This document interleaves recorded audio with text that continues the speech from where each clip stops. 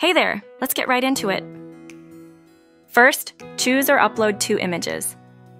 Blended photos work best when one image is your subject and the other is your background. But hey, your creativity is the real magic here, so feel free to experiment. Let's start by removing the background of the subject image. Just select the image and click on Background Remover. Now for the fun part, blending. Head over to Apps and search for Blend Image.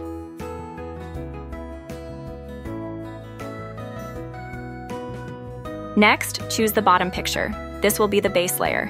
You can upload a new one or pick something already on your canvas. In this example, let's set the subject as the bottom picture. That way, the top image will blend into it, not the other way around. Now, select the newspaper photo as the top layer. Once you've got your layers in place, choose a blend mode. You'll see a live preview, so feel free to scroll through and find one that fits your vibe. Every images gives a different result, so don't be afraid to play around until you love what you see.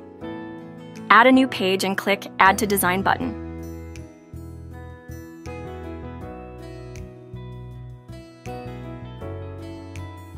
And that's a wrap on this quick tutorial. Got questions or feedback? Drop them in the comments below. I'd love to hear from you. Until next time, keep creating.